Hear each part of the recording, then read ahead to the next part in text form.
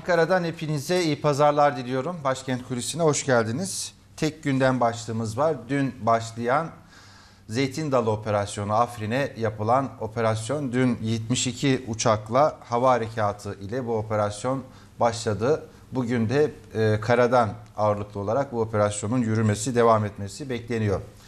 Bu hafta Başkent Kulisi'nde AK Parti Ankara Milletvekili eski Başbakan Yardımcısı Doçent Doktor Yalçın Akdoğan e, konuğum olacak. Tabii Sayın Akdoğan e, devletin bütün kademelerinde görev almış, bu meselelerle yakından ilgilenmiş bir isim. Dolayısıyla bugün bu konuyla ilgili, bu operasyonla ilgili e, söyleyeceklerine de kulak kesileceğiz. Hoş geldiniz. Hoş bulduk. Hayırlı sabahlar. Şimdi tabii insanların e, zihninde e, çok soru var. Bu operasyonu herkes takip ediyor. Ama herhalde şu soruyla başlamak gerekiyor. Niye bu operasyon yapılıyor? Gerekçesi nedir? Neden Suriye'ye girdik? Evet. Tabii öncelikle e, Zeytin Dalı Harekatı inşallah e, başarılı bir şekilde gerçekleşir. Cenab-ı Hak bütün e, Mehmetçiği muhafaza etsin, başarılar versin. Hem Özgür. Suriye ordusu hem Türk Silahlı Kuvvetleri gerçekten e, büyük bir fedakarlıkla, büyük bir disiplinle çok önemli bir harekat icra ediyor. Fırat Kalkanı'ndan sonra bu e, Zeytin Dalı Harekatı önemli e, bir operasyon. Öncelikle birkaç e, spot olarak şunları söyleyelim. Buyurun. Bu bir savaş değil. Bu bir terörle mücadele harekatı. E, Bunu adını önce doğru koymak lazım. Çünkü karşıda bir devlet ve düzenli bir ordu yok. Bir terör örgütü var. Bu terör örgütüne karşı yürütülen bir terörle mücadele harekatı var. Fırat Kalkanı da bu, şek- bu şekildeydi. E, Zeytin Dalı Harekatı da bu şekilde bir terörle mücadele operasyonu gerçekleştiriyor Türkiye. Uluslararası meşruiyete dayalı bir şekilde. Yani BM kararları ve BM sözleşmesi çerçevesinde meşru müdafaa hakkını kullanarak. Yani niçin bu hareket yapılıyor dediniz? Öncelikle bunun temeli meşru müdafaa hakkını korumaktır, kullanmaktır. Yani e, PKK, PYD, YPG terör örgütü bu farklı dallarıdır. Farklı isimlerle farklı e, coğrafyalarda faaliyet gösteren aynı örgütün bileşenleridir bunlar. Ve e, Türkiye için bir beka meselesidir bu. Ulusal güvenlik meselesidir. Bir tehdittir. Ve yeni bir tehdit değildir. Çok boyutlu, farklı coğrafyalardan Türkiye'yi tehdit eden bir örgütle karşı karşıyayız. Türkiye'yi sadece tehdit eden PYD, PKK değildi. DAEŞ'ta, farklı terör örgütlerde zaman zaman Türkiye'yi tehdit ettiler sınır ötesinden. Buna karşı da Türkiye Cumhuriyeti sınır ötesine dönük bu tür harekat gerçekleştirdi. Ee, bu da Afrin harekatı da yani Zeytin Dalı harekatı da bu çerçevede ele alınması gereken bir harekat. Uzunca zamandır Türkiye bu konudaki hassasiyetini ortaya koyuyor. Evet. Herkes uyarıyor, söylenmesi gerekenleri söylüyor. Yani bu hem müttefiklerimize dönük, hem Suriye'de bir şekilde sürecin parçası olan ülkelere dönük. Yani bu terör örgütlerini desteklemeyin, bunlara silah vermeyin. Ee, Bir şekilde bunu sürecin parçası haline getirmeyin. Ee, Bu hem Suriye Suriye'deki devam eden diplomatik süreci zehirleyen bir unsurdur. Hem de e, sahada tabloyu değiştiren bir durumdur. Bu desteği çekin diye uyarıyor.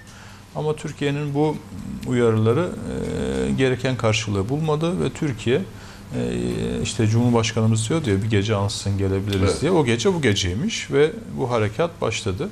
Ve çok başarılı bir şekilde de e, operasyon sürüyor. Bunu tabii PKK, PYD baktığımızda Suriye'nin kuzey bölgelerine yani neredeyse Suriye sınırının üçte ikilik bir kısmında bir yapılanma var.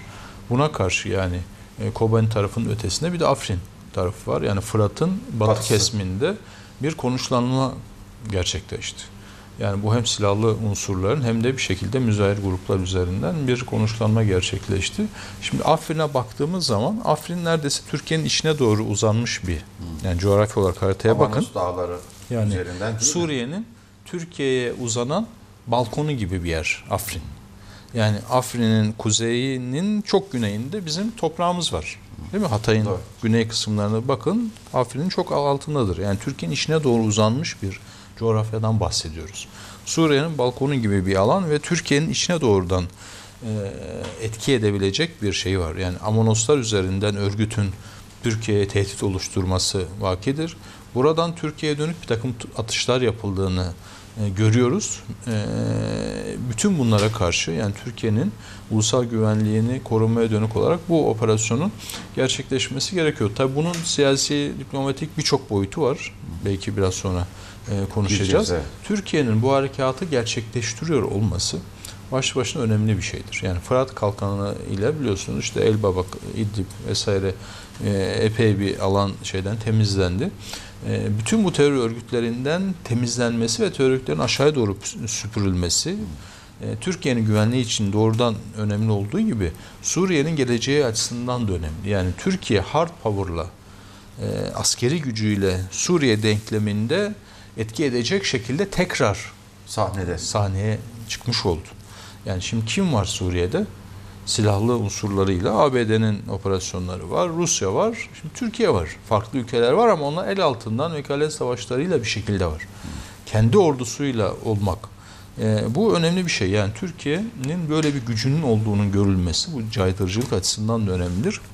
Bunlar e, diplomatik zeminde de eli güçlendirecek meselelerdir. Yani Astana Soç süreci veya Suriye'nin geleceğiyle ilgili e, meselelere baktığımızda Masada burada güçlü hale getirecek. güçlü hale gelmek açısından da önemlidir. Yani hem Türkiye'nin e, terör tehdidini savuşturması ve bir şekilde bunu bertaraf etmesi hem de Suriye'nin geleceği bağlamında e, milli e, çıkarlarını koruyacak bir pozisyon alması bu açıdan önemli. E, tabii müttefiklerimizle ilişkiler, diğer e, Geleceğiz konular onlara. bunlara geliriz. Evet. Peki bunun yani e, riskleri, tehditleri e, bir mesela Fırat Kalkanı'nı gördük. Orada nasıl bir sonuç çıktığını da gördük. Orada DAEŞ'e karşı bir e, mücadele yürütüldü. Burada PYD ve YPG e, unsurları var. Yani burada tabii şu da var. Dün Genelkurmay Başkanımız da konuşmasına dikkat ettiyseniz bütün terör örgütlerini saydı. Yani bunun içinde DAEŞ de var. Yani bu o bölgede e, askeri varlıkla bir iş yaptığınızda karşınıza farklı farklı düşmanlar çıkabiliyor. Farklı e, kutupların işbirliğiyle karşınıza geçebildiğini görüyorsunuz. Mesela şimdi bakın e, PYD ile rejim arasında hemen bir işbirliği gelişebiliyor. Yani e, Halep üzerinde tek çıkış noktalar Halep biliyorsunuz Afrin'den. E, çünkü Böyle bir kuzeyinde da var. Türkiye var, Yani e, güneybatısında yine Türkiye var, güneyinde İdlib var. Tek çıkış noktası Halep. Şimdi oradan hem lojistik destek aktarmaları hem de e, PYD'nin bir şekilde tasallutu altındaki halkın kaçış güzergahlarının kapatılması burada bir rejimle doğrudan işbirliği içerisine e, girebildiklerini de görüyoruz. Şimdi böyle bakınca sağda e, düşmanımın düşmanı dostumdur anlayışıyla farklı hemen kamplaşmalar olabiliyor. Ona karşı bütün terör örgütlerine karşı yürütülen bir harekattan bahsediyoruz. Evet. Burada peki anladığımız kadarıyla Rusya ile bir mutabakat e, sağlandı ve bu mutabakat üzerine yani 11 Ocak'ta Cumhurbaşkanı Erdoğan'ın Putin'le bir görüşmesi vardı. E, onun devamında Sayın Erdoğan konuşmaya başladı. Yani kararlı bir şekilde bir hafta içerisinde bunları bitireceğiz. Hazırız, hazırlıklarımız bitti. Her an başlayabilir türü açıklamaları bir hafta boyunca sürdü ve başladı e, operasyon. Biraz sanki Rusya ile işbirliği ile mi bu operasyon Şimdi yapılıyor? Bu tür, bu tür operasyonların diplomatik ayağını iyi götürmek gerekir. Yani iki açıdan. Bir, sahada bir şey olmasın, karşı karşıya gelme durumu olmasın veya yani birisi yanlış birinin ayağına basmasın Evet. av- avam tabirle. Bu açıdan bir işbirliğinin, eşgüdümün olması lazım. Yani en azından bilgilendirme olması lazım. E, askeri açıdan böyle bir gereklilik var. Hem de diplomatik olarak bakın dün birçok yerde hem uluslararası kuruluşlara, müttefiklere, farklı ülkelere bilgilendirme yapıyor Evet, dışişlerimiz. Şimdi bu da önemli. Dışarıda bir de psikolojik bir harekat var. İnsanlar soruyorlar, farklı bir şekilde konumlandırmaya çalışıyorlar. Ee, buna karşı da bu diplomatik e, sürecin işletilmesi gerekiyor. Bilgilendirmenin yapılması gerekiyor. Şimdi bakın dünden beri birçok böyle özellikle sosyal medya üzerinden bir takım dezenformasyonlar var. Ya e, farklı yani bu harekatı karalamaya dönük bir takım şeyler var. E, bu yüzden tekrar vurgulayalım. Yani bu harekatın amacı terör örgütlerini bertaraf etmektir. Bu e, sivillere dönük bir harekat değildir. Terör örgütlerine dönük bir harekattır. Bu Kürtlere dönük bir operasyon değildir. PYD, YPG terör unsurlarına dönük bir harekattır. E, yani Türkiye burada meşru müdafaa hakkını kullanmaktadır. Yani farklı bir yeri sanki bombalıyor, sivilleri bombalıyor falan gibi e, Batı medyasında olumsuz algı oluşturmaya dönük bir takım yayınlar var. E, bunlara da hiç itibar etmemek lazım. Yani bu diplomatik temaslar, görüşmeler hem sahada bir e, komplikasyon yaşanmasın hem de diğer e, olumsuz algıları gidermek açısından gerekli. Evet. Peki şimdi herhalde temel hedeflerden bir tanesi de bu güney sınırımızın PKK kuşağı ile e, kapatılmasına karşı bu harekat yapılıyor değil mi? Yani Fırat Kalkanı'nın Sayın Erdoğan ifadesiyle bir hançer darbesi bu projeye indirildi. Şimdi bunun ikinci, üçüncü safhası. Bu böyle e, Fırat'ın doğusuna kadar ilerleyecek mi? Öyle mi gö- göre- görebiliriz? Şimdi burada tabii e, yani hükümetin söylemlerin ötesinde bir şey söylemek doğru olmaz şu aşamada. Yani neticede burada Afrin ve Münbiç'in öncelikli olarak e, masaya yatırıldığını görüyoruz. Yani Afrin'in bir şekilde terör unsurlarından temizlenmesi, Münbiç de bu bağlamda gündeme gelebilir. E, yani burada şunu görelim. Şimdi pek e, Amerika Birleşik Devletleri PYD, ile birlikte hareket ediyor, onu silahlandırıyor. Onun üzerinden yani Suriye denkleminde PYD üzerinden bir oyun kurguluyor. Bunun maksadı nedir? Yani niye Nedir? PYD ile birlikte hareket ediyor? Niye PYD'yi destekliyor? Bu e, DAEŞ'e karşı bir işbirliği midir? Destekleme midir? E, Yani benim ben havadan bombalıyorum Sözde ama yerde benim görün. bir adamım olması lazım. Bu da benim adamım. Ben bunu silahlandırıyorum. Arazide bu benim yerime savaşıyor görüntüsü. Şimdi bu DAEŞ'e karşı bir durum mudur? Esed'de yani rejime dönük yani Suriye sorunu ne, niye çıktı? DAEŞ diye bir şey var mıydı? Yoktu. Yoktu. Esed diye bir baş belası vardı, rejim vardı, halkına zulmediyordu. Bu Suriye dediğimiz sorun böyle çıktı. Doğru. Şimdi Esed'e karşı, rejime karşı mı destekliyor ve güçten silahlandırıyor? DAEŞ'e karşı mı yapıyor? Niye yapıyor? Kime karşı yapıyor? Şimdi madem DAEŞ işte e, topraksızlaştırıldı, Temizlendi temizlendi. E, rejime karşı da hiçbir şey yaptığını görmüyoruz. İşte biraz önce bahsettim. Evet. Yani Afrin'den Aksine çıkış Türkiye noktasında 30 bin bir işbirliği kişilik hali- ordu içine- kuracağım diyor. Yani başından beri düşünün hiç Esed PYD'ye karşı bir o şey tavır içerisine girdi mi? Yani en başından DAEŞ yokken bunlar orada kendilerine göre e, ayaklanıp işte merkezi yönetimi e, takmamaya başladıkları zaman bile onlara karşı bir şey yaptı mı? Yapmadı. Yani şimdi o zaman PYD'yi sen Esed'e karşı bunlar savaşmıyor, ona karşı desteklemiyorsan, DAEŞ diye bir şey neredeyse kalmadıysa niye destekliyorsun? İşte o zaman sizin söylediğiniz şey me- gündeme geliyor. Yani sadece Suriye bağlamında Suriye problemini e, gidermek değil, başka bir takım maksatlar o zaman. Yani burada demek ki otonom bir bölge oluşturulmak isteniyor. PYD, PKK üzerinden bir özellik özel bölge oluşturulmak isteniyor. E bu doğrudan Türkiye için bir varlık yokluk meselesidir. Yani ben Suriye'de bunları yapacağım. Ya sen de işte benim müttefikimsin. Sesini çıkarma. Böyle bir işbirliği olabilir mi? Yani bir tarafta bir müttefikim var. Yani uzun geçmişe dayanan belki yani uzun vadeli ilişki kurman gereken bir müttefikin var. Bir de Suriye bağlamında bir tane örgüt var. Onu kullanışlı buluyorsun. Onun üzerinden birçok bölgesel bir senaryolar geliştiriyorsun. Bunu da Şimdi- Türkiye'ye karşı yapıyorsun. E, tabii neticede ortada bir PKK çıkıyor. devleti veya özerk alanı diye bahsettiğinde bu Türkiye için büyük bir sıkıntı değil midir? Yani şimdi bu tür e, örgütler e, güvenli bir bölge kendilerine bulduklarında konuşlandıklarında e, biraz daha uzun ömürlü olabiliyorlar. İşte Kuzey yani Kuzey Irak'ta bunların bir şekilde konuşlanmaları, öyle bir güvenli bölge kendilerine bulmaları kendince orada işte eğitim kampları yapmaları vesaire daha uzun soluklu bir probleme dönüştürüyor. Şimdi düşünün bir de Suriye'nin kuzeyinde böyle bir konuşlanma olduğunu ve bunun bir siyasallaşarak farklı bir meşruiyet üretmeye çalıştığını e, bu Türkiye için elbette bir problemdir. Peki. Yani bu yüzden e, buradaki bu Afrin operasyonu önemli, Münbiç'in de temizlenmesi önemli.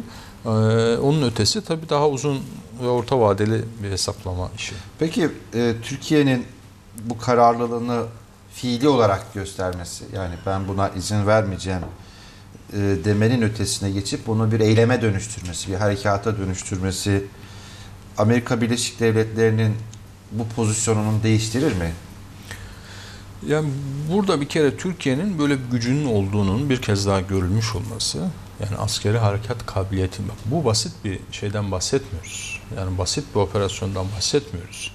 Bu çok yani bunun planlaması, gerçekleştirmesi, arazide uygulaması vesaire yani bir kurmay zeka ve ciddi bir askeri kabiliyet gerektiren bir operasyondur. Yani herhangi bir ülkenin yapabileceği bir şey değil. Şimdi bazı körfez ülkeleri destekliyorlar. Bir takım örgütlere para veriyorlar. İşte ben de Suriye bağlamında bak ben de bir aktörüm falan. E peki sen bu kapasiten var mı? Bu kapasiteye sahip bölgede birkaç ülke vardır. Bunlardan bir tanesi Türkiye'dir. Türkiye'nin bu askeri kapasitesinin olduğunun, imkan ve kabiliyetin olduğunun tekrar görülmesi bu önemli bir faktördür. Bakın şimdi e, Amerika Birleşik Devletleri başından beri bu eğit, donat vesaire meselesinde de ÖSO'ya çok itibar etmedi. Evet. İşte radikal unsurlar var dedi, şöyle dedi, böyle dedi falan. Hep e, itibar etmediğinden de hep PYD üzerine yatırım yaptı. Şimdi bu son zamanlarda sadece ÖSO'yu küçümseme değil, Türkiye'nin askeri varlığına dönük de benzer bir hava koklamaya başladı. Siz de yani özellikle bu yapamazsınız 15 bu Temmuz işi. işte e, yaşananlar vesaire. Zayıfladı yani, ordunuz. Zayıfladı. Böyle bir kapasitesi kalmadı falan gibi bir algı. Bu bunun ne kadar yanlış olduğu görüldü. Bakın Türk Silahlı Kuvvetleri ciddi travmalar yaşadı. Yani işte bu Ergenekon, Balyoz vesaire bir travmaydı. FETÖ ciddi bir travmaydı. 15 Temmuz ciddi bir travmaydı. Bütün bunlardan geçen bir ordu bugün yani dünyanın süper güçlerinin ordularının belki de yapmaya cesaret edemediği bir askeri harekatı gerçekleştiriyor. Bu bir rekor bu. 72 Bu- uçakla ilk defa Tabii yapılıyor. Bu çok önemli Eş bir şey. zamanlı. Yani bütün bu travmalardan sonra kısa bir süre içerisinde ordunun toparlanması ve bunun üzerine de bu harekatı yap- yapıyor olması bu önemlidir. Bunun görülmüş olması da önemlidir. Bu ÖSO konusunda da hem ÖSO'nun kendine güven kazanması hem de onun da arazide nasıl bir operasyon kabiliyetinin olduğunun görülmesi de Suriye denkleminde birçok hesabı değiştirecektir diye düşünüyorum. Daha ciddiye alacaklardır artık. Tabii. Evet. Şimdi Özgür Suriye Ordusu dediniz.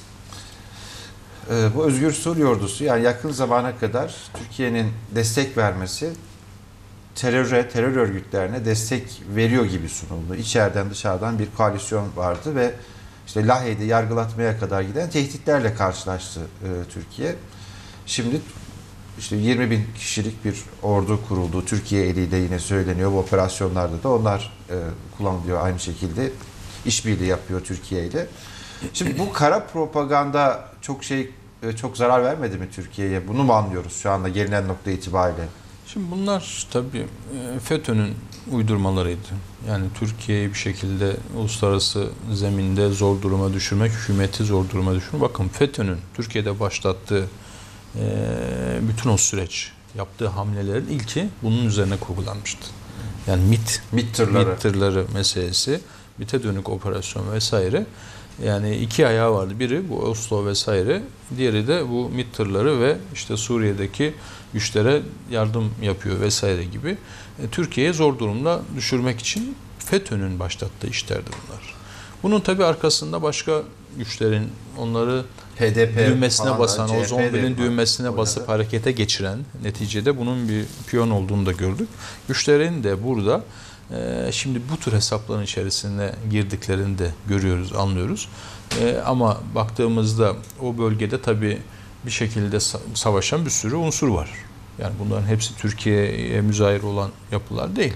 Yani es, rejimle savaşan, muhalif unsur olan yabancı savaşçılar vesaireler diye baktığımızda radikal bir takım unsurlar, Türkiye ile hiç ilgisi olmayan, Türkiye'nin desteklemediği başka bir takım örgütler de vardı. Türkiye bunları zaten terör örgütü olarak da ilan etti ve DH bağlamında onları da karşı kutba koyarak onlarla da bir mücadele içerisinde oldu. Yani o, o tür unsurları destekleyen e, bir pozisyon Türkiye hiçbir zaman almadı.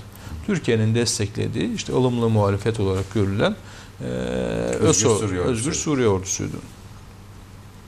Ama onlara da yani onlara Türkiye'nin destek vermesini de teröre İşte destek bu veriyor gibi. yani e, bu kapsamda siz eğer onunla değil de başka birisiyle iş yapmak istiyorsanız, iş tutmak istiyorsanız, desteklemek istiyorsanız onu kötülemeniz lazım.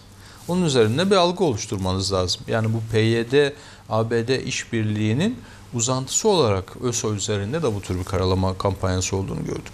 Çok geç kalmadık mı peki? Yani biraz da bu nedenle bu kara propaganda baskılanması Türkiye'nin Suriye e, politikasının e, baskılanması, tehditler vesaire yani benim bildiğim 2014'ten itibaren bu türden bir operasyon hep gündemdeydi. Ama bir türlü yapılamadı. Ama işte Artık Türkiye'nin başına, Türkiye'nin başına neler geldi o süreçte. Ha, bir de o var. Düşünün yani Türkiye bir ayaklar üzerinde doğrulması lazım. İçeride ordusu travma yaşıyor, darbe girişimi olmuş, bir sürü tasfiyeler var. Böyle bir türbülans içerisindeyken bir taraftan da terörle mücadele ediyorsunuz. Şimdi bu az bir şey değil. Yani içeride PKK ile ciddi bir mücadele var. Türkiye kırsalında. Bir taraftan ordunun yeniden yapılanması, işte toparlanması, bu şeylerden, virüslerden temizlenmesi süreci var. E bir taraftan da işte Fırat Kalkanı'nı yaptığı bu kademe kademe olabilecek bir şey. 15 yani, Temmuz'dan 40 gün sonra başladı. yani bu yüzden Ee, Türkiye Kalkanı. bence yani olağanüstü bir performans ortaya koydu askeri açıdan da. Ee, bu konuda Sayın Cumhurbaşkanımızın hükümetin zaten kararlılığı ortada. Bunu hep dile getirdi. Diplomatik zeminde e, dostlarımız, müttefiklerimiz bunları belki anlar ve gereğini yapar diye bir çaba içerisinde oldu ama e, bakıldı ki hiç onlar e, bunu kale almıyorlar. O zaman göbeğimizi kendimiz keseriz noktasına Evet, geldi. Cümlede oydu zaten. Kendi göbeğimizi kendimiz e, kesiyoruz dedi Sayın Cumhurbaşkanı. E, bunun devamında Amerika Birleşik Devletleri e, fiili bir e, sabote etmek için Türkiye'nin bu harekatını e, bir girişimde bulunur mu? Yani bunu engellemeye dönük e, bir hareket olur Yani bunun mu? kendisine bir faydası olmaz böyle bir şeyin. Yani neticede sizin bir gücünüz varsa ve arazide bir karşılık buluyorsa bu güç e, buna karşı birilerinin bir şey yapabilmesi çok kolay değildir. Şimdi Rusya ciddi bir şekilde askeri varlığıyla Suriye'ye girdi değil mi? Evet.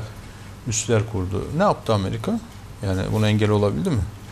Yani Amerika'nın başından beri dirayetsiz politikaları özellikle Obama'dan itibaren Suriye konusunda son derece muğlak, belirsiz, ne yaptığını bilmeyen, ikide bir çark eden bir e, Suriye politikası.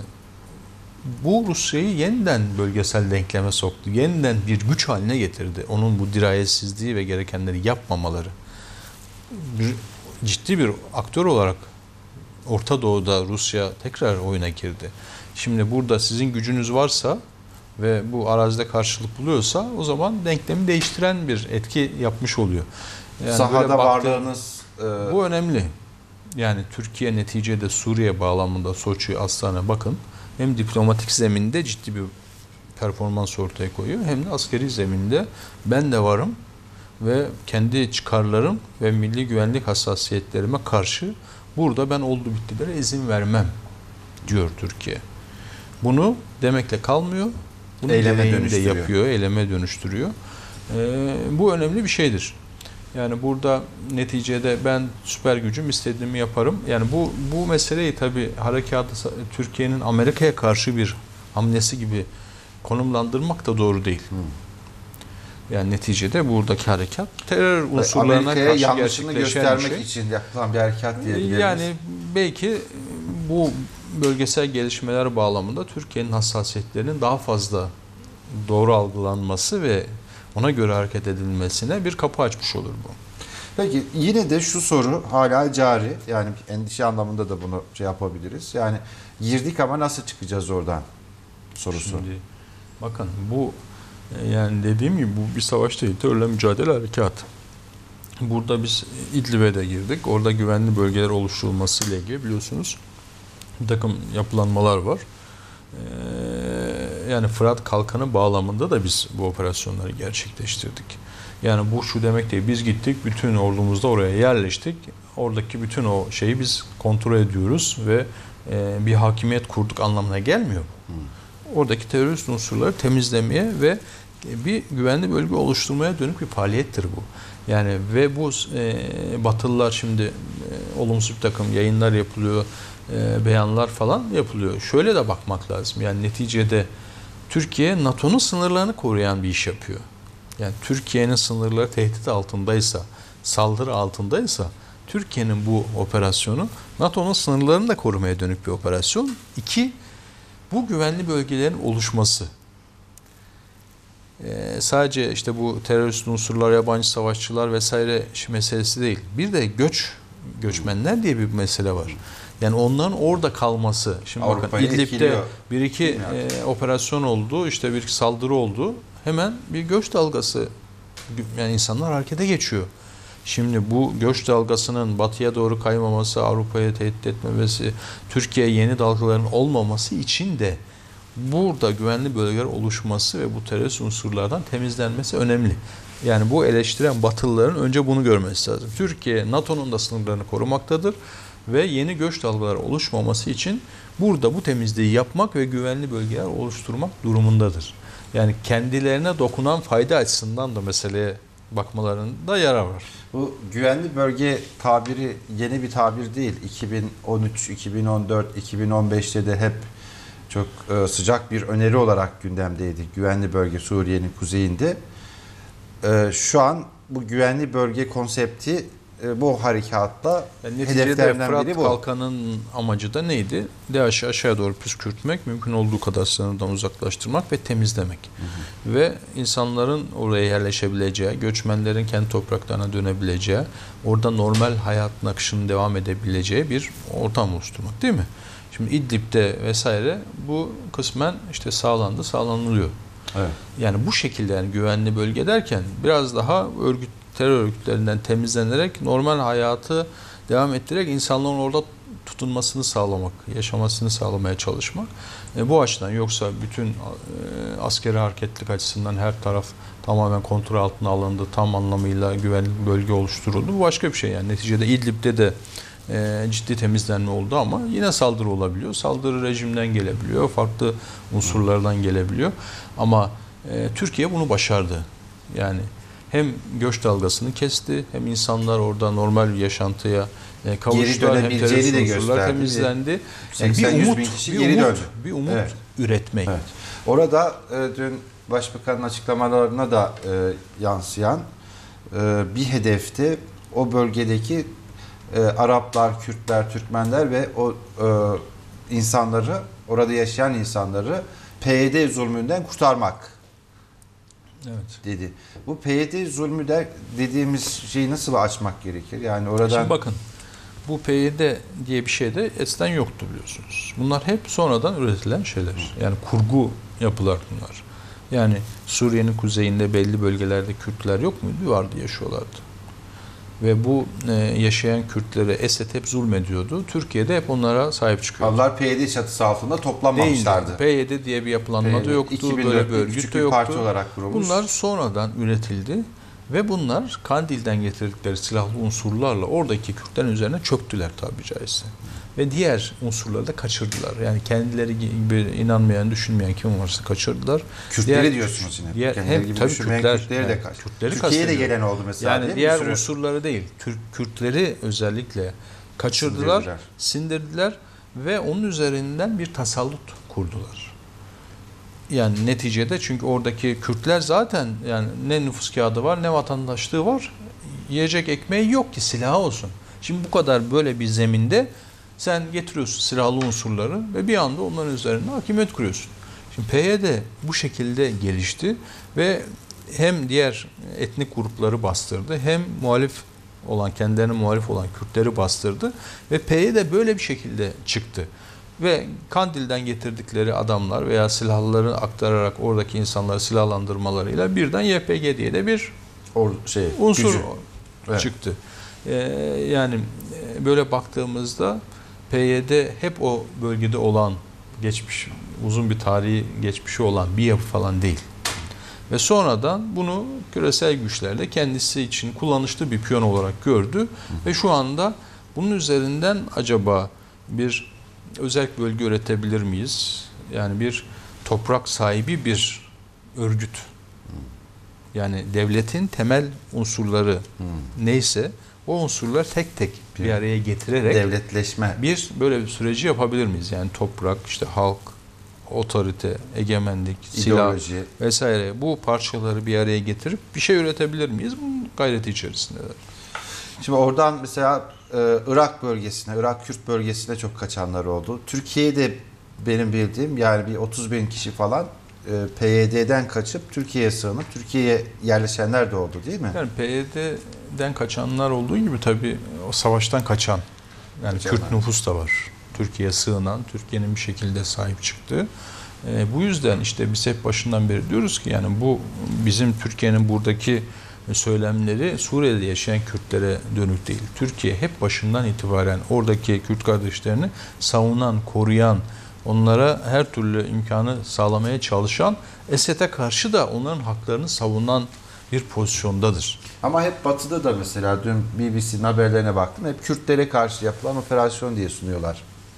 E şimdi biraz önce dedim ya yani diplomatik zeminde bu şeylerin algı operasyonlarına karşı ciddi bir çaba işte Dışişleri Bakanlığımız şu anda onu yapmaya çalışıyor. Hem ülkeleri bilgilendiriyor hem dünya medyasına karşı. Yani bu nedir bu yaptığımız şey? Kime karşı yapıyoruz? Hangi amaçla yapıyoruz? Bunu şeffaf bir şekilde ortaya koyuyoruz ve bakın en ufak bir olumsuz malzeme olsa en ufak yani bu e, yapılan operasyonda yani sivillere dönük veya farklı bir şekilde o yeri göğü birbirine katarlardı. Şu anda e, yalan yanlış bir takım uydurma bilgilerle bunu üretmeye çalışıyorlar ama ortada bile bir şey yok. Yani e, silahlı kuvvetlerimiz gerçekten burada son derece yani sivillere zarar vermeyecek şekilde e, çok ahlaki zeminde ve büyük bir hassasiyetle bu operasyonu gerçekleştiriyor. Peki bir ara verelim. Kısa bir ara. Dönüşte tekrar devam edeceğiz. Kısa bir ara veriyoruz efendim. Devam edeceğiz. Evet tekrar birlikteyiz AK Parti Ankara Milletvekili eski Başbakan Yardımcısı Doçent Doktor Yalçın Akdoğan konuğumuz. Şimdi e, tabii hep aklımızın bir yerinde Türkiye-Amerika Birleşik Devletleri ilişkileri ne olacak? Bu süreç bunu nasıl etkileyecek? Bu ilişkileri nasıl etkileyecek? Toplamda zaten çok herhalde pek görülmemiş e, bir derin bir kriz yaşanıyor ikili ilişkilerde. Suriye'den yola çıkarak, bu yürüyen harekattan yola çıkarak e, öngörünüz nedir? Yani Trump yönetimiyle orada da bir sürü karmaşa da var şu anda. Trump'ın akıl sağlığı bile sorgulanıyor böyle bir enteresan durumda söz Kendi konusu. iç krizi de var. Kendi Yani iç kongre krizi. bütçe meselesi onaylanmadı bütçe e, meselesi. E, ve Batı'da e, tek soru yani bu ekonomi yatırımcılara kadar artık giden soru Türkiye Amerika Birleşik Devletleri ilişkileri koparma sorusuna kadar gelmiş durumda iş. Nedir bu konudaki okumanız, Şimdi tespitleriniz? Türkiye Amerika Birleşik Devletleri ilişkileri yani tek bir konuya endekslenebilecek, indirgenebilecek bir ilişki değil.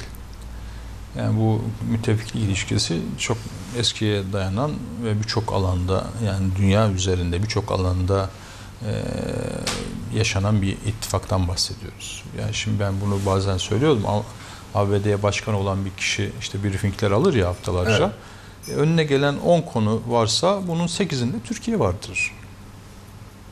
Yani Afganistan'da açsa, Pakistan'ın işte komşularıyla ittilafına da baksa, Bosna'ya baksa, Orta Doğu'ya baksa, Suriye, Irak'a nereye baksa içinde mutlaka bir Türkiye faktörü vardır. Yani Türkiye göz ardı edilebilecek bir ülke değil. Bu yüzden yani bu iki ülkenin çıkarları açısından eee, ciddi boyutları olan bir ilişkidir. Ama son dönemde yani Türkiye'nin e, hayat memat meselesi olarak gördüğü çok büyük hassasiyetle takip ettiği bir takım konularda Türkiye'nin beklentileri karşılanmadı. Yani FETÖ konusu bunlardan biridir. Yani Türkiye'de bir darbe kalkışması oldu. Ve sen bunun e, bunu yapan kişiyi orada a, himaye ediyorsun, yardım ve yataklık yapıyorsun adeta. Şimdi bu kabul edilebilir bir şey değil, izah olabilecek bir şey değil. Veya işte PYD, PKK meselesi. Yani Türkiye'nin can düşmanına sen silah veriyorsun, orada ona devletçik kurdurmaya çalışıyorsun. Veya işte Sarraf meselesinde olduğu gibi Türkiye üzerine bir takım entrikalar geliştiriyorsun. Şimdi böyle bir takım konular var. Bakın yani Türkiye-ABD ilişkileri bir takım sıkıntılar yaşadıysa, türbülanslar. işte konular bunlar. Kim haklı, kim haksız? Yani böyle baktığımızda bütün bu konularda Türkiye alacaklı taraf, haklı olan taraf. Bu e, kaygılarının borusu ötüyor biraz herhalde. borusu ötüyor mu Bu acaba? devirde. Ben hiç öten bir boru falan görmüyorum. yani şimdi bu böyle bir kompleks var. Çok süper güç güçlü. Sen ne yapabilirsin ona karşı? Yani etin ne budun ne? Niye böyle dikleniyorsun kardeşim? Şimdi bak böyle bu işler böyle yürümez. Şimdi ne oldu? Orta Doğu'da birçok ülkeye çöktü değil mi? İşte Katar'a operasyon yaptılar, Lübnan'a şey yaptılar. Bir takım körfez ülkelerine bir sürü operasyonlar yap- yaptılar. Niye yaptılar? Arazi temizliği. Yani Kudüs'le ilgili bir karar verecekler. Bunu verdiklerinde karşılarında ayakta kimse kalmasın. Herkes bir şekilde Tabii olsun. künde pozisyonda olsun. E, Bir şekilde ya ele geçirilmiş olsun veya koltuğunu korumak için ABD aman yapma deme pozisyonda olsun ki sesi çıkmasın. Böyle bir konjöktürü getirdiler ve hemen küt kararı açıkladılar. Ne oldu peki? Yani onların şimdi Türkiye'de çıktı buna karşı ahlaki bir duruş içine girdi. Ve ve işte İslam e, Teşkilatı örgütü bu kadar adamı bir araya topladı, ülkeyi bir araya topladı. İlk defa somut geçti. bir karar aldı. BM'ye götürdü. Oradan engelledi. Ne oldu? Bir tarafta süper güç vardı. Öbür tarafta Türkiye karşı Türkiye buna karşı hem İslam ülkelerinden hem BM ülkelerinden karar çıkarttı mı? Çıkarttı. Ve baktığımızda ABD ile iş tutan neredeyse kuklası durumuna gelen ülkeler vardı. Kudüs konusunda seslerini çıkarabildiler mi? Yani aleyhte konuşabildiler mi? Buna ayak direyebildiler mi? Ne oldu? Bir tarafta süper güç vardı. Onların kontrol ettiği yönetimler vardı. Onların kontrol ettiği yönetimler bile onların istediği tavrı sergileyemedi. Neyi sergiledi? Türkiye'nin istediği tavrı sergiledi. Demek ki burada her zaman bu güçlü olmakla alakalı bir şey değil. Siz haklıysanız o zeminde artık en işbirlikçi olan bile onun istediği gibi davranamayabilir. Ve işte o kimsenin borusu falan da ötmez. Şimdi bunları söylerken tekrar başa dönelim. Yaptım, yani bu oldu gibi bir operasyon ABD'ye olmaz karşı bir operasyon değil. Ama neticede Suriye bağlamında denklemindeki tabloyu da değiştirecek. Hem de Türkiye'nin artık hassasiyetlerin ciddiye alınması e, gerektiğini de gösterecek. E, yeni bir durumdur bu. Bir Sayın Erdoğan'ın e, bir cümlesi e, daha yakınlarda kurdu. Size Türkiye'den başka bu bölgede e, müttefik e, olabilecek başka bir unsur olmadığını göstereceğiz. Mealen bu. Yani müttefikse bir Yani tek bir Türkiye. çağrı, bakın birkaç hafta Buna mı zorluyoruz bir biraz? çağrı hali var. Yani Sayın Başbakanımız açıklamalarında yani işte müttefiklerden bahsediyor. Bizi arkadan vuranlar işte dost musun? Cumhurbaşkanımız yani dost musun düşman mısın kardeşim? Açıkla. Pozisyonunu belli et. Bir de müttefikini seç. Şimdi bu çağrı yani bu önemli şey. Yani böyle muğlak davranma. Beni pışpışlama. Burada sen hangi kimi destekliyorsun? Kimin yanındasın? Tavrını net belli et. Suriye konusunda politikan belirsiz olabilir. Başka konularda ne yaptığın belli olmayabilir. Ne dediğin belli olmayabilir işte. Her kafadan bir ses çıkıyor Amerika'da. Ama benimle ilişkilerinde net ol kardeşim. Nerede duruyorsan onu açıkça söyle. Aşağıdan birisi bir şey diyor. Öbür taraftan Pentagon bir şey diyor. Dışişleri bir şey diyor. Beyaz Saray bir şey diyor. Bir asker çıkıyor başka bir şey diyor. Şimdi böyle bir şey olur mu? Yani bakın şimdi bu sadece Türkiye-Amerika ilişkileri değil. Amerika'nın kendi içinde ciddi bir problem kriz var. Yani biraz önce söylediğim işte bütçeyi geçirememesi siyasi bir kriz. Her kafadan bir sesin çıkması başka bir kriz. Trump'a dönük içeride bir takım güç odaklarının yaptığı hamleler başka bir şey. E, Cumhuriyetçiler, demokratlar bakın Cumhuriyet'dir ABD. Cumhuriyet değerleri üzerinde yükselmiştir. İçeride ciddi bir entelektüel tartışma da var. Yani teokratik bir imparatorluğa mı dönüşüyorsun? Sen bütün dünyada işte bir dine, Demokratik değerleri bir dine savaş açıyorsun, müdahale ediyorsun. Yani o geleneksel e, Batı'nın e, ABD'nin üzerinde yükseldiği değerlerin altını oyan başka bir eğilim var. Şimdi bu güvenlik e, stratejisi vesaire bakın. Yani böyle Amerika'nın geçmişinde böyle bir şey var mı? Yani ne dost var ne müttefik var. Sadece işine göre kullanılacak ülkeler var. Sadece ABD var. Başka hiç kimse yok. Dünyada başka bir insan yok sanki. Ve iş, işine geldiğinde istediği ülkeyle istediği şekilde iş yapar. Hiçbir hak hukuk vesaire değil. Çıkar. Kendi çıkarı. Sadece kendisi var. Bu sorgulanıyor mu Yani bir diyorsunuz müttefiklik, Amerika'nın içinde? de? stratejik bir akıl, oyun, işbirliği değil.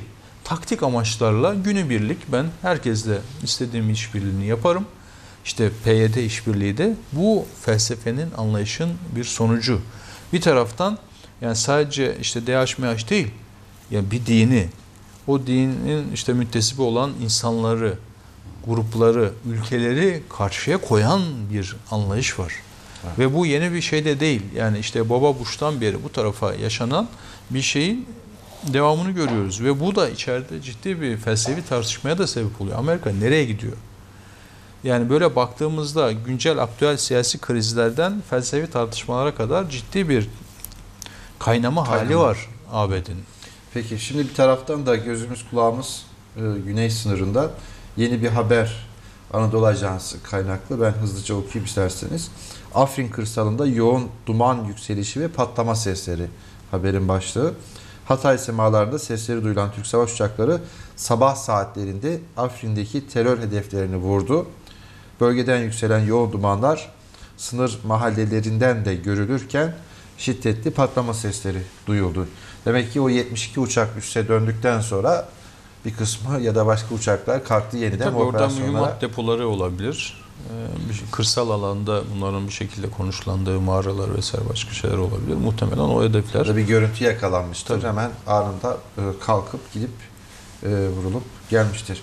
Peki şimdi e, içeride muhalefetin biraz bu operasyona, Zeytin Dalı, Afrin operasyonuna verdiği tepkilere bakalım. Sayın Kılıçdaroğlu dün destekliyoruz dedi. Valla tam ne dedi bilmiyorum. Yani çünkü ne dedi o da Amerika gibi Şöyle bir konuşuyor. şey ne oldu. dediği O belli değil. destekliyoruz derken bir homurdanma oldu salondan.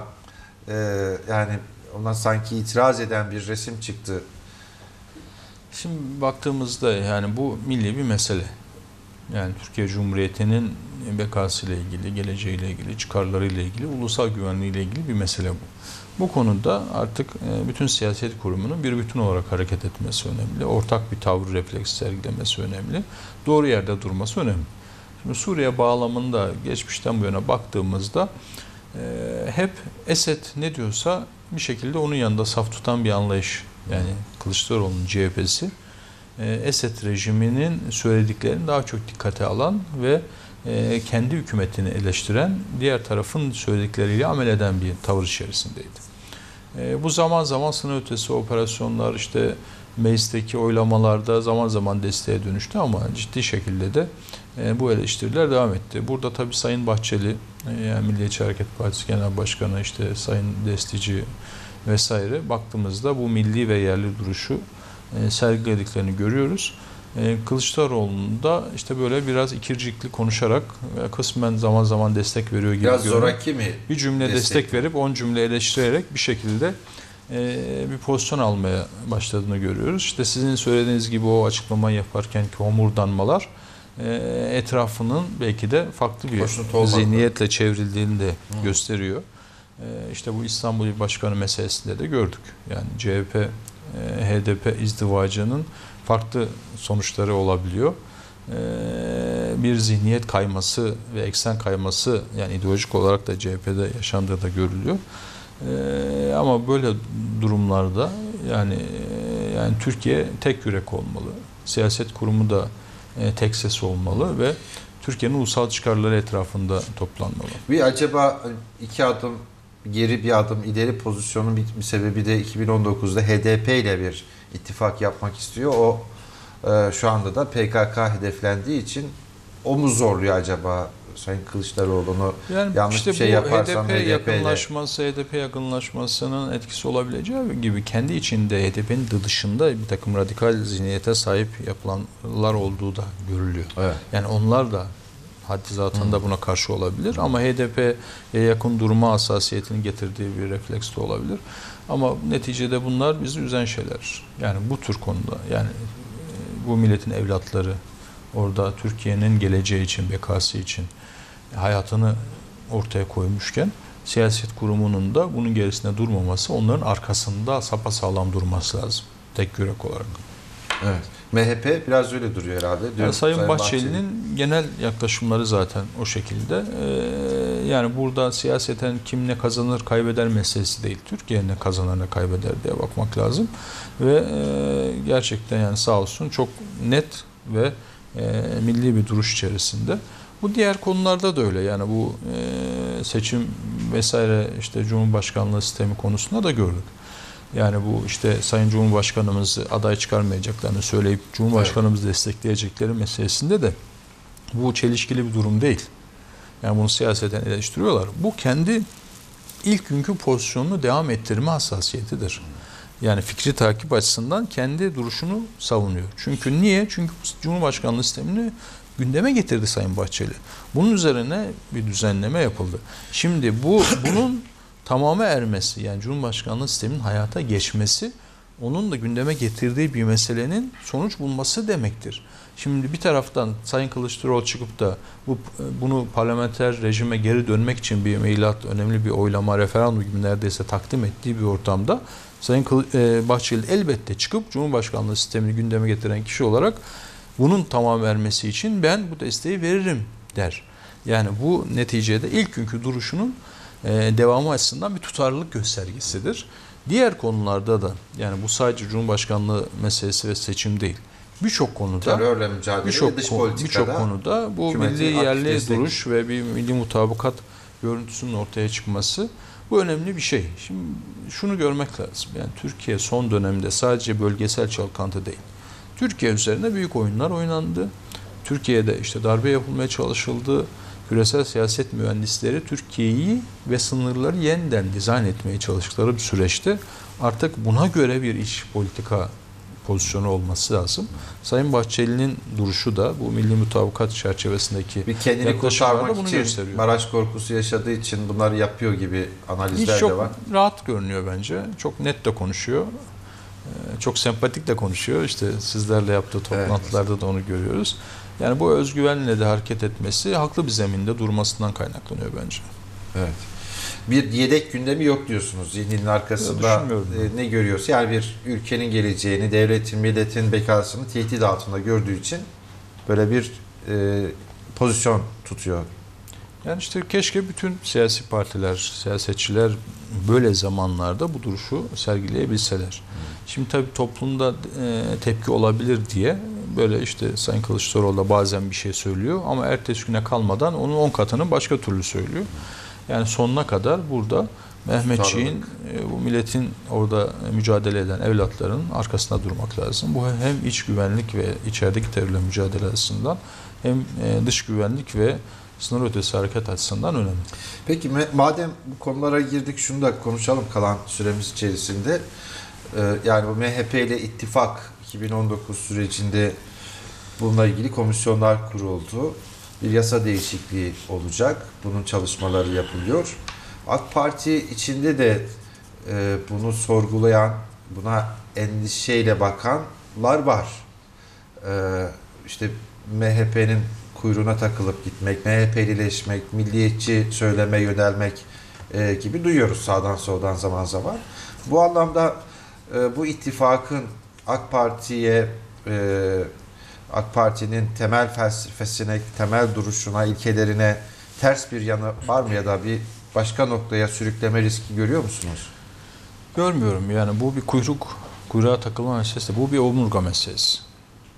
Yani AK Parti omurgalı siyaset yapar. Başından beri hangi ahlaki ilkeleri savunduysa bugün de aynı ilkeleri savunur. Ve e, AK Parti'nin biliyorsunuz kuruluşundan itibaren başına bir sürü şeyler geldi. Tasfiye edilmek istendi, devrilmek istendi, kapatılmak istendi, darbelerle işte bir sürü bir şeyler oldu.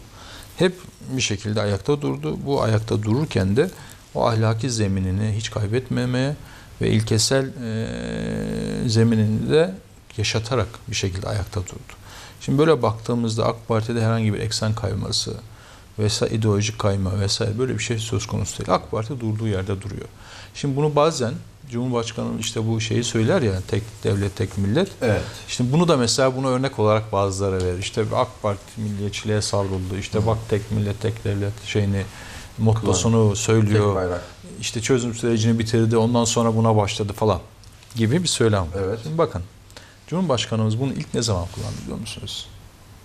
Çözüm sürecinin başlangıcı diye görülen Diyarbakır konuşması vardır. 2013. Yok 2004 vesaire. Daha eski. Tabii ilk çözüm süreci yani demokratik açılım, milli birlik kardeşlik baktığımızda evet. ilk Diyarbakır'daki yaptığı konuşmada Cumhurbaşkanımız aynı bunları söylüyor. Yani biz işte anaları ağlamasın Türkiye'nin geleceği için bu sorunu çözmemiz lazım vesaire diyor.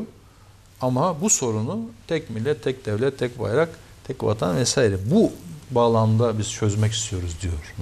Yani bak bu gözden kaçan bir şeydir. Yani sanki AK Parti bir politikayı bıraktı, başka bir yere savruldu. Şimdi böyle bir söylem içerisinde gibi bunu takdim ediyorlar. Oysa ilk bu işin startının verildiği konuşmada bu kullanılan Bu bir şeydir.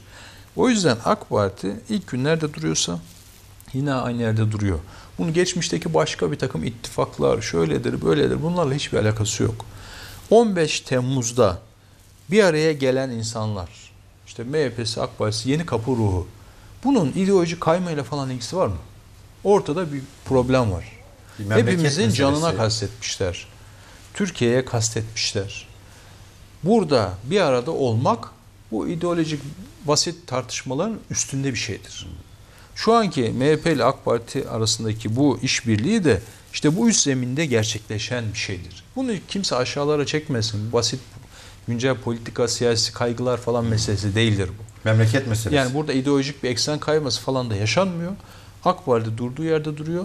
Türkiye'nin menfaati için bu noktada işte o gün yani Mardin'de de, Şırnak'ta da, Diyarbakır'da da, Edirne'de de, Muğla'da da insanlar aynı ruhla sokağa döküldüler. Yani şimdi bu insan Edirneli ile Şırnaklı insan yan yana gelse eksen kayması mı olacak? Aynı ruhla aynı e, sıkıntıya karşı, soruna karşı bunlar biz de varız dediler. İşte bu MHP AK Parti işbirliği şu anda biz de varız demenin siyasetteki tezahürüdür. Bunun ötesinde buna bir e, farklı bir anlam yüklemeye e, kalkmak doğru olmaz. ya da e, herhangi bir dönemde yapılan bir seçim ittifakı olarak da görmemek lazım. Görmemek lazım. Yani burada bakın biraz önce ne Ülkenin dedim? selameti. Yani Sayın Cumhurbaşkanımıza dönük Sayın Bahçeli'nin açıklamaları kendi gündeme getirdiği bir projenin nihayete ermesi, tamamlanması için söylediği bir şeydir ve bir çok son derece tutarlı bir davranıştır. Bu süreç yani madem bir Cumhurbaşkanlığı sistemi kurulacak. Şimdi biz referandumda evet dedik. Tam dört dörtlük bir sistem var mı ortada? Şimdi bir uyum yasaları var. Yani siyasi partiler, kanun seçim kanunu, başka uyum ya- yasaları.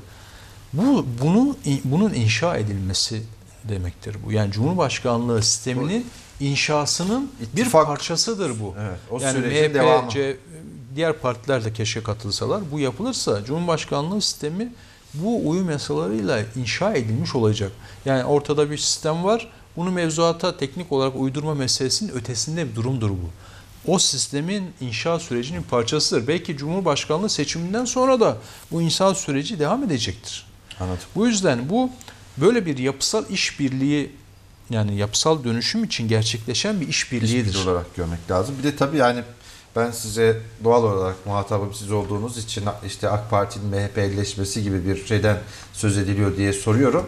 Öbür tarafta da MHP'yi de AK Partilileşme ya da işte böyle muhalefet mi olur? İktidarın peşine takılıp kuyruğuna takılıp gidiyorsunuz sorusu onlara da soruluyor. Biz hani muhatap olduğumuzda onlara da bunu diyenler, soruyoruz. Onlar yani açısından da bir bunu- sorun yok bunu diyorsunuz. diyenler şimdi CHP'den bu şekilde eleştiri yap.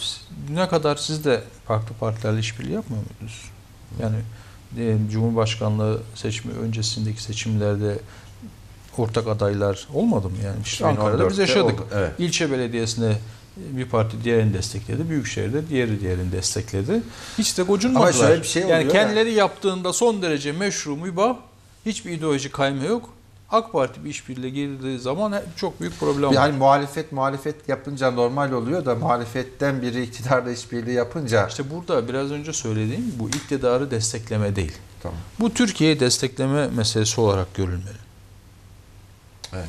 Onun ötesinde mecliste şimdi MHP çok farklı konularda eleştiriler getirebiliyor. Zaman zaman CHP'den daha fazla mecliste bir takım tartışmalar olabiliyor. Yani bunlar ayrı bağlamda yürüyen bir siyaset tarzı. Peki. Çok teşekkür ediyorum. Rica ederim. Bize vakit ayırdığınız için. Sağ olun. Cenab-ı Hak askerimizi, Mehmetçiğimizi muhafaza etsin. Amin. Muvaffak etsin inşallah. Çok sağ olun. Efendim Başkent Kulisi'nde e, bu hafta AK Parti Ankara Milletvekili eski Başbakan Yardımcısı Doçent Doktor Yalçın Akdoğan konuğum oldu.